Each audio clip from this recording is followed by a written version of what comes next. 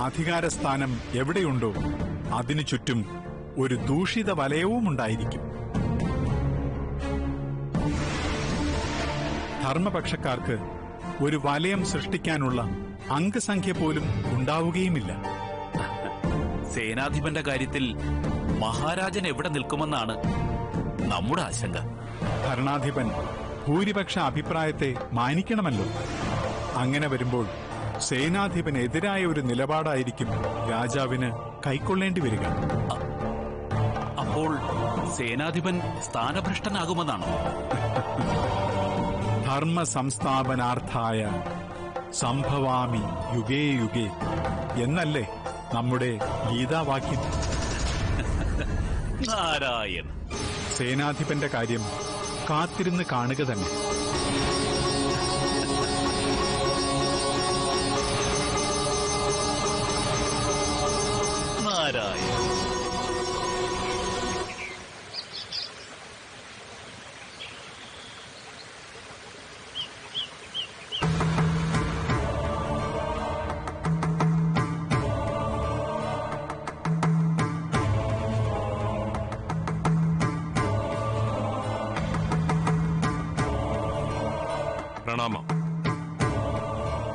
മഹാരാജൻ അടിയനെ അന്വേഷിച്ചു എന്നറിഞ്ഞു. അന്വേഷിച്ചു. മന്ത്രിയും സഭാംഗങ്ങളും സേനാധിപന് ഭ്രഷ്ട് കൽപ്പിച്ചിരിക്കുകയാണ്. മഹിഷിയുടെ ബന്ധനത്തിലായി എന്നതാണ് കുറ്റം.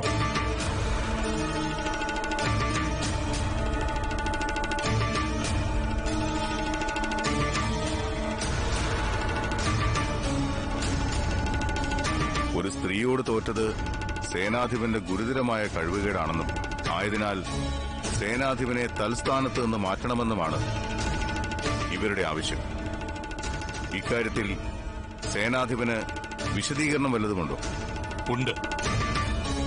രാജ്യത്തിന്റെ പൊതുസ്വത്തായ മണ്ഡപം വീണ്ടെടുത്ത് പ്രജകൾക്ക് നൽകണമെന്ന സതുദ്ദേശമേ അടിയനുണ്ടായിരുന്നുള്ളൂ.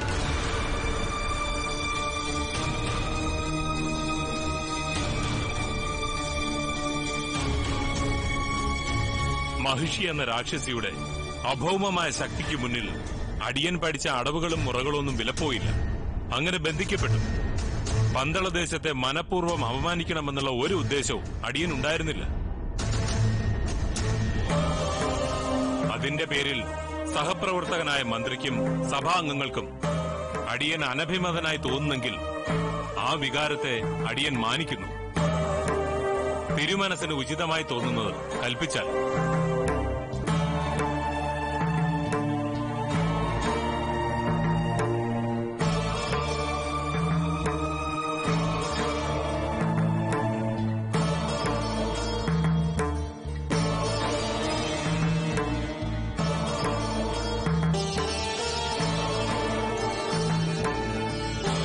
ഭൂരിപക്ഷ അഭിപ്രായത്തെ മാനിച്ച് താങ്കളെ സേനാധിപ സ്ഥാനത്ത് നിന്നും ഒഴിവാക്കിയിരിക്കുന്നു.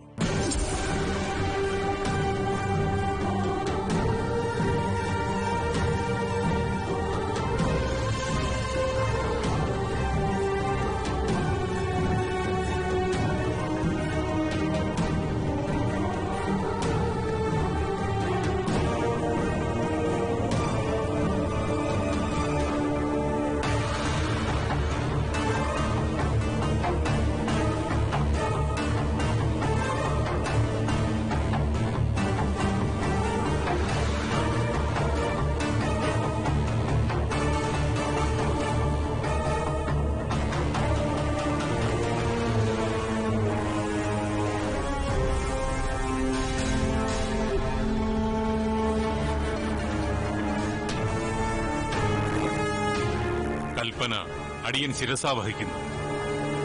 മനസാ വാച കർമ്മണ പന്തളത്തിന് ഒരു ദ്രോഹവും ചെയ്തിട്ടില്ല എന്ന ആത്മാഭിമാനത്തോടെ അടിയൻ ഈ ഉടവാൾ അടിയറ വയ്ക്കുന്നു.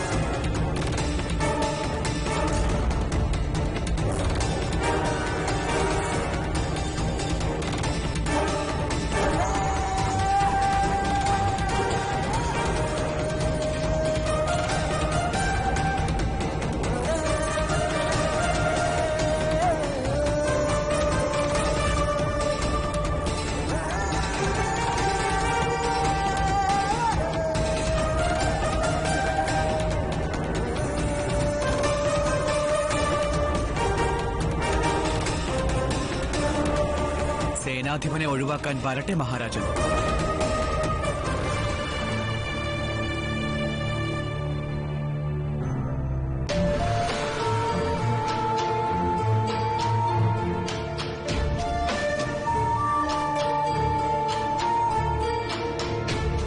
മഹിഷിയോട് സേനാധിപൻ പരാജയപ്പെട്ടു എന്നതാണല്ലോ അദ്ദേഹത്തിന്റെ കുറ്റം. മന്ത്രിയും വാളുമായി മഹിഷിയോട് ഏറ്റുമുട്ടാൻ അങ്ങോട്ടേക്ക് പോയതാണല്ലോ.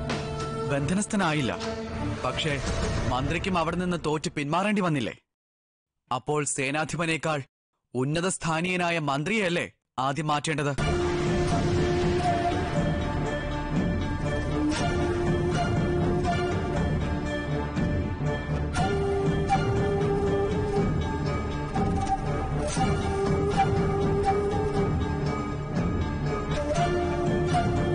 ഇക്കാര്യത്തിൽ മന്ത്രിയുടെ വിശദീകരണം അറിയിക്കാം. അല്ല അത് പിന്നെ അടിയൻ മന്ത്രിയല്ലേ? അതുപോലാണോ? രാജ്യത്തിന്റെ പ്രതിരോധ ചുമതലയുള്ള സേനാധിപൻ. മഹിഷിയോട് കൈമൈ മറന്ന് പോരാടി എന്ന് അവകാശപ്പെട്ട മന്ത്രി മഹിഷിയെ ഒന്ന് നേരിൽ കാണുകയെങ്കിലും ചെയ്തോ?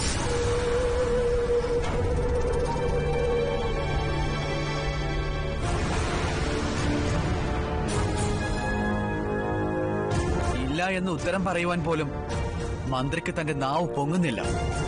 ഇപ്പോഴെന്താ സഭാംഗങ്ങളുടെ അഭിപ്രായം? മന്ത്രി വ്യാജം പ്രവർത്തിച്ചിട്ടുണ്ടെങ്കിൽ മന്ത്രിസ്ഥാനം അനുവദിക്കരുത്.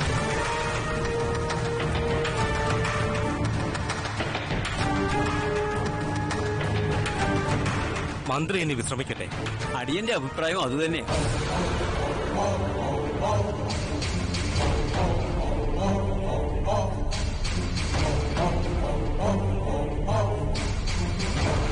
അപ്പോൾ മന്ത്രിസ്ഥാനം ഒഴിവാക്കിയേക്കാം.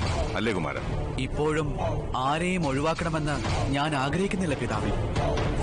ഏവരും ഒരുമിച്ച് നിന്നാൽ പന്തളം സ്വസ്ഥം മറിച്ചായാൽ നരകം. അത് ഏവരും ഓർത്തിരിക്കണം.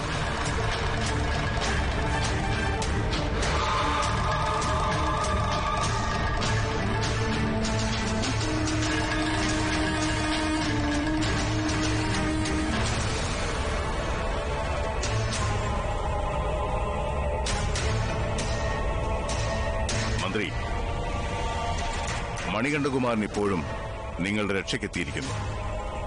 മറക്കരുത്. അടിയൻ. അഭിമാനത്തോടെ ഈ ഉടവാൾ ഏറ്റുവാങ്ങിയാലും സേനാധിപൻ.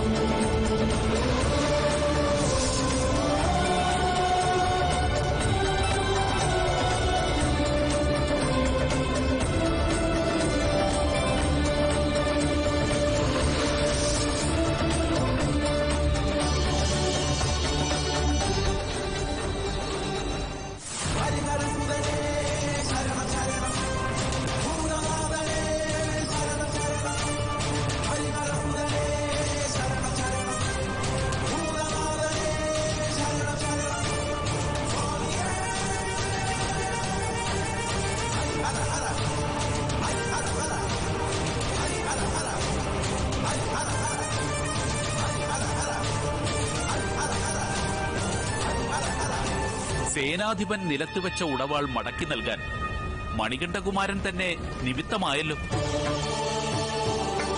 അധർമ്മം അഴിഞ്ഞാട്ടം നടത്തുമ്പോൾ അതിനെ അമർച്ച ചെയ്യാൻ നാം വലിയ വലിയ അവതാരങ്ങൾ എടുക്കുന്നു. ചെറിയ ചെറിയ അധർമ്മങ്ങളുടെ മുനിയൊടിക്കാൻ നമ്മുടെ പുത്രനും അവതരിക്കപ്പെടുന്നു. യഥാർത്ഥ കുറ്റവാളിയായ മന്ത്രിയെ മണികണ്ഠനോ രാജാവോ ശിക്ഷിക്കാൻ തയ്യാറായില്ല. അവിടെയും ഒരു ദുരൂഹത ഒളിഞ്ഞു കിടക്കുന്നുണ്ടല്ലോ ദേവ. മണികണ്ഠകുമാരന് അവതാര ലക്ഷ്യം പൂർത്തിയാക്കണമെങ്കിൽ മന്ത്രി മന്ത്രിയായി തന്നെ തുടരേണ്ട വിധി നിയോഗങ്ങളുണ്ട് നാരദരെ. മന്ത്രിയുടെ ശക്തമായ കുതന്ത്രമായിരിക്കും മണികണ്ഠനെ അവതാര ലക്ഷ്യത്തിലേക്ക് നയിക്കുക. നാരായൺ. അങ്ങനെയുള്ള മന്ത്രിയെ സ്ഥാനഭ്രഷ്ടനാക്കാനോ കൽത്തുറുങ്കിൽ അടയ്ക്കാനോ നാട് കടത്താനോ വിധി അനുവദിക്കില്ലല്ലോ. എത്ര കാര്യകാരണ സഹിതമാണ് വിധി ഒളിഞ്ഞിരുന്ന് ഓരോ കരുക്കൾ നീക്കുന്നത്. പ്രപഞ്ച നിഗൂഢതകൾ അചിന്യം തന്നെ ദൈവ. നാരായണ നാരായണ.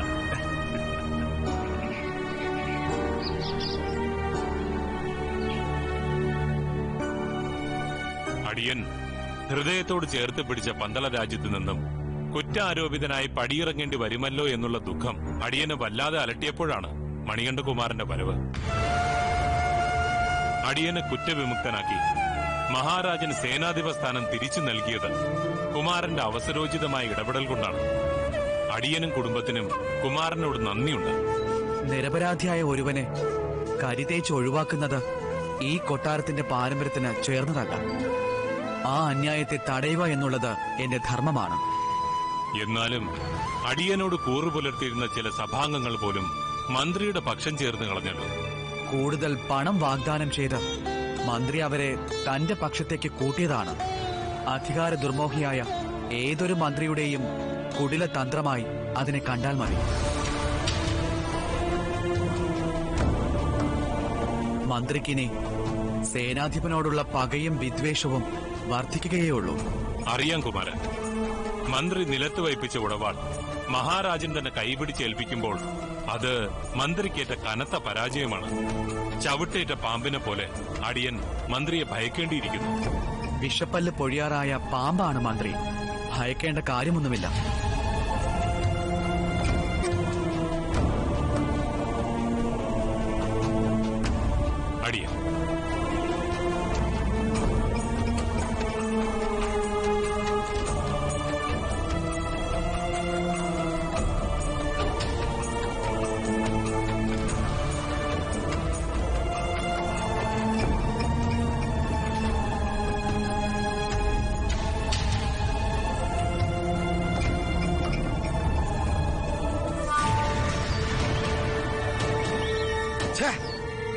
ലജ്ജാവഹം ലജ്ജാവഹം. കുമാരവർമ്മൻ മധുരയിലേക്ക് കെട്ടിയെത്തിയെന്ന് ഞാൻ അങ്ങ് ഉറപ്പിച്ചതാ. അപ്പോഴല്ലേ മണികണ്ഠകുമാരൻ വന്ന് ഇടങ്കോലിട്ടത്. നഷ്ടപ്പെട്ട സേനാധിപ പദവി കണ്ണടച്ചു തുറക്കുന്നതിന് മുമ്പ് രാജാവ് തിരിച്ചു നൽകിയില്ലേ? മണികണ്ഠകുമാരൻ ചതിച്ചതാ മന്ത്രി അങ്ങുന്നെ മണികണ്ഠൻ എന്തിനു പറയുന്നു? കൽപ്പിച്ച് നിലത്ത് വെച്ച ഉടവാൾ അടുത്ത ക്ഷണത്തിലെടുത്ത് കക്ഷത്ത് വച്ചു കൊടുക്കുന്നവൻ വ്യക്തിത്വമുള്ള രാജാവാണോ? ആ ഒമ്പത്തെ പന്തള രാജാവാണത്രേ. നട്ടല്ലില്ലാത്തവൻ! ദേ ഈ മാളികയിലെ ചുവരുകൾക്ക് പോലും കാതുകൾ ഉണ്ടെന്ന് ഓർമ്മ വേണം. നട്ടലില്ലാത്തവനെന്ന് പറഞ്ഞ് രാജാവിനെ ആക്ഷേപിച്ചാലുണ്ടല്ലോ. മന്ത്രിക്ക് തല കാണില്ല. ഓ എന്നാലേ മന്ത്രിയുടെ തല കാണില്ലെന്ന് തൽക്കാലം നീ പ്രവചിക്കണ്ട. ഏറിപ്പോകുന്നുണ്ടോ? പോയിട്ട് എന്താ കാര്യം? മന്ത്രിക്ക് സംഭവിക്കാൻ പോകുന്ന ഭവിഷ്യത്തിനെ കുറിച്ച് പറയുമ്പോ ചാടിക്കടിക്കാൻ നിന്നിട്ട് കാര്യമില്ല. ഭർത്താവിനെ തിരുത്തേണ്ടത് ഒരു ഭാര്യയുടെ ധർമ്മമാണ്. എന്നാലും അങ്ങുന്നിന്റെ തല പോകുമെന്നൊക്കെ ചങ്കിക്കൊള്ളുന്ന വർത്തമാനം പറയരുത് മന്ത്രി കൊച്ചമ്മ കഷ്ടമാണ്. ഞാൻ പറയുന്നതേ ചക്രപാണിക്കും ബാധകമാണ്. എല്ലാം കെട്ടിപ്പേറി സ്ഥലം വിട്ടിട്ട് വീണ്ടും തിരിച്ചു വന്നിരിക്കുന്നു? കൊട്ടാരത്തിന്റെ അസ്ഥിവാരം തോണ്ടാനാണ് ഭാവമെങ്കിൽ ചക്രപാണിക്കും തലയില്ലാതെ തിരിച്ചു പോകേണ്ടി വരും. തലയില്ലാതെ എത്ര ദൂരം തിരിച്ചു പോകും? ഭവനം ഏറെ ദൂരെ. അതെ കൊട്ടാരത്തിന് ഹാനികരമായതൊന്നും ഞാൻ പ്രവർത്തിച്ചിട്ടില്ല. യാതൊരു ഉപയോഗമില്ലാത്ത ആ സേനാധിപനെ ആ സ്ഥാനത്ത് നിന്ന് മാറ്റാൻ ശ്രമിച്ചതാണോ? നിന്റെ കണ്ണിൽ മന്ത്രി ചെയ്ത കുറ്റം കുറിക്കൊള്ളുന്ന ചോദ്യം. ആണോ? യാതൊരു ഉപയോഗമില്ലാത്ത സേനാധിപനം? തിരുമനസ് കൊട്ടാരത്തിൽ ഇല്ലാത്തപ്പോ മണികണ്ഠ കുമാരനോടൊപ്പം ഓടി നടന്ന് രാജ്യകാര്യങ്ങൾ നോക്കി നടത്തിയ സേനാധിപനാണോ? യാതൊരു ഉപയോഗമില്ലാത്തവൻ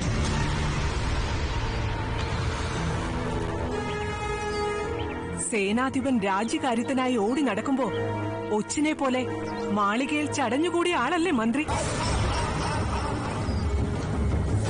കൊട്ടാരത്തിൽ നിന്ന് ആരെ മാറ്റണമെന്ന് രാജ ഉദ്ദേശിക്കുന്നുവോ? അതിന് ഏറ്റവും യോഗ്യനാണ് മന്ത്രി.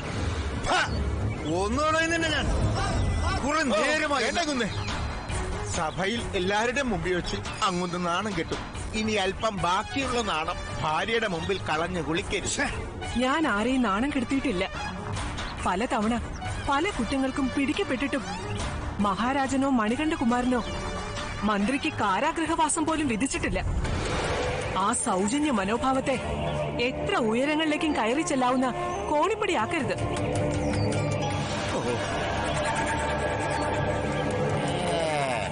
അവളുടെ ഒരു സാരോപദേശം. ഇതൊന്നും കേട്ട് നിന്റെ മനസ്സിലേക്ക് പോരു ചക്രപാണി. ഇനി നമ്മുടെ പ്രധാന ശത്രു മണികണ്ഠനല്ല. കുമാരവർമ്മനാണ്. എന്തു വില കൊടുത്തു അവനെ തകർത്തിരിക്കണം.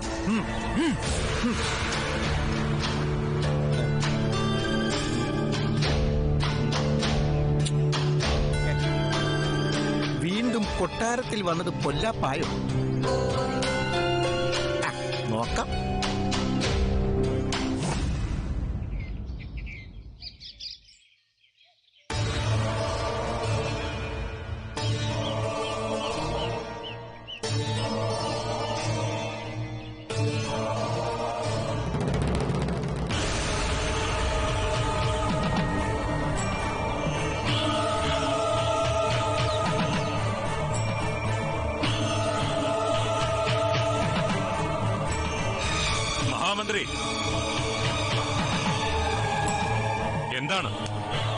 കണ്ടപ്പോൾ മന്ത്രി തിരിച്ചു നടന്നത്.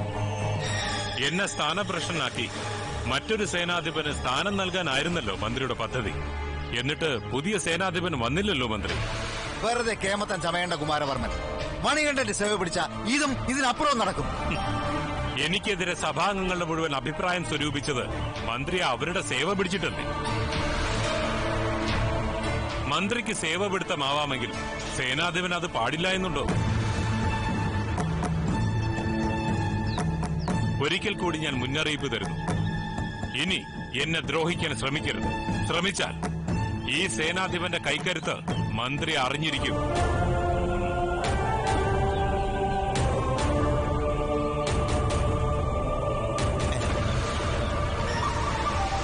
അങ്ങുന്നേ ആ സേനാധിപൻ അങ്ങുന്നിനെ വല്ലാതെ ഇളിഭ്യനാക്കിക്കൊണ്ടിരിക്കുകയാണ്.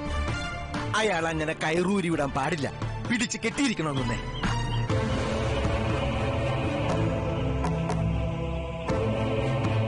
ഇങ്ങനെയുള്ള കാര്യങ്ങൾക്ക് കൂടെ നിൽക്കാനല്ലേ ഈ ചക്രപാണി അങ്ങയോടൊപ്പം കൂടിയിരിക്കുന്നത്?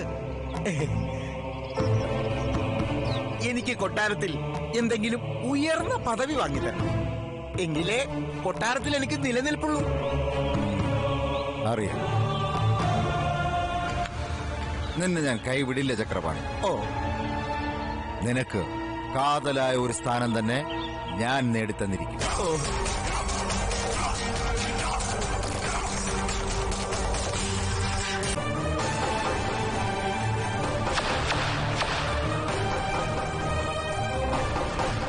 ബുദ്ധി നേർവഴിക്ക് സഞ്ചരിച്ചാൽ ചിന്തയും നേർവഴിക്ക് പോകും. വളഞ്ഞ വഴിക്ക് പോയാൽ ചിന്തയും വളഞ്ഞു പോകും.